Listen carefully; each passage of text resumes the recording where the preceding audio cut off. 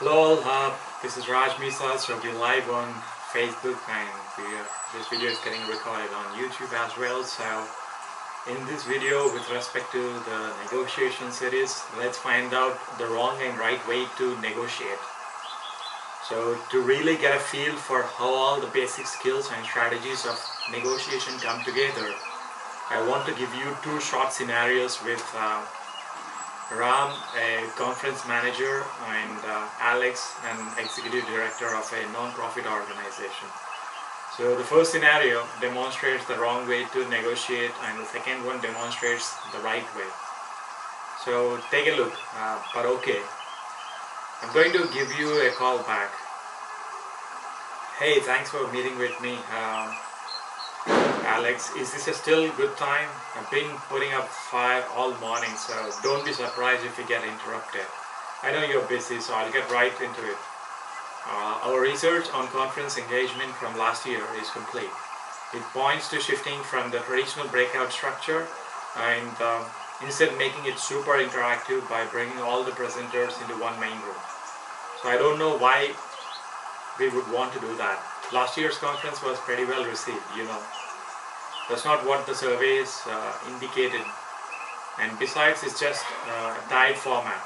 Our research shows that attendees don't want talking head lectures, but hands-on project-focused learning so they can implement immediately.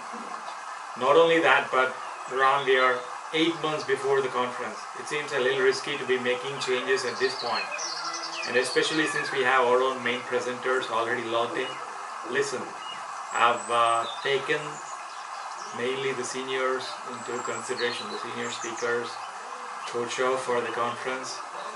Um, and also they are lined up and drafted uh, revised topic flow, made each attendee table into work group with a facilitator. So I love, uh, in fact, Ram, I love the sound of it, but our registration page is scheduled to go live in three months. So Alex that is totally doable. I really think it's now or never. So you can't afford to keep losing sponsors and attendees. Listen, why don't why don't I go over the details with your coordinator and we can show you how it's all mapped out. Uh, because this is, I'm so sorry, I have to run, but to be continued. And for now, let's just leave things as designed. Call me on Friday. Okay, so not a lot of collaborative problem solving went on in that conversation. So Ram's ideas are excellent, but this first mistake was trying to speed through his proposal. Even though Alex was uh, clearly uh, preoccupied, so Ram wasn't able to unpack the benefit of his proposal to Alex's organization and when he encountered resistance, he doubled down and defended his ideas instead of getting curious about uh, Alex's concerns and finding a way to turn them into solutions. So let's rewind slow things down and watch how Ram uses the skills we have covered to hone in on Alex's concerns and change the results. So you'll see those skills highlighted as they are applied in this scenario. Hey, thanks for rescheduling. I'm glad to hear uh, your father's on the mend. Thank you. Uh, he was really touch and go, but he's doing good now. Good, good. Okay, good. So is it still a good time to go over the conference research? Yes. Yes, I'm anxious to hear what you learned. Great. So I know we are eight months ahead from the event and only three months away from going live with the registration. But if you really want to boost engagement and sponsorship, what all the research points to is shifting from the traditional breakout structure and instead bringing all the presenters and sponsors to one main room. So what are your thoughts on that? I don't know Ram, so just making changes at this stage just seem uh, just seem to be a little more than risky. So what are your biggest concerns unlike the wrong way to negotiate? Example, so Ram slowed down things, engaged in a little small talk and checked in on timing, all good. When he framed his main idea, he ended up by asking a diagnostic question to allow Alex to voice her concerns. So let's take a look at how Ram moved things through and past no.